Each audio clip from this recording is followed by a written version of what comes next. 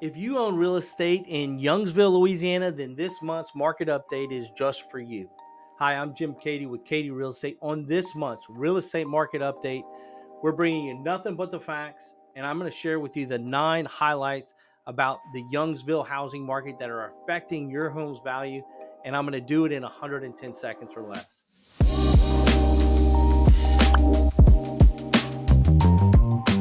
Now for the numbers. Youngsville reported 66 homes that sold last month. This is up 69.2% from the previous month and down 18.5% compared to December of 2021. The total sales volume last month was $19.8 million, and that is up 63.1% over the prior month and down 11.4% year over year. 31 homes came onto the market in Youngsville in December, and that is up 6.5% from the previous month, but it's down 57% year over year. There were 33 homes that went pending in December. This is down 42.4% from the previous month and 50% less year over year. But this represents over 106% of all the new listings that came to market in December. The average amount of time a house stayed on the market in Youngsville was just 56 days. That's down 19.6% from the previous month.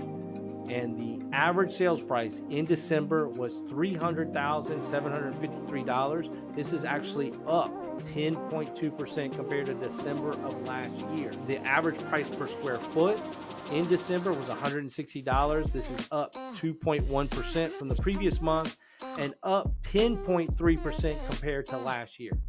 And the MLS reported 2.6 months of supply in December, and that is up 97.7% compared to December of 2021. And in summary, real estate prices are just a function of supply and demand. So, although our demand is falling with the increase of interest rates, so too is our supply. And Youngsville is going to continue to experience those high prices at least until supply exceeds demand. Okay, so that was your market update in less than 110 seconds. At Keaty Real Estate, we pride ourselves on being the expert advisor. So if you're thinking about moving up, moving down, or you just have a real estate question, let me and my team put a real estate game plan together for you. Want to stay ahead of the competition in this ever changing market, just stay tuned for more videos just like this. And thank you for trusting me as your source for accurate local real estate information.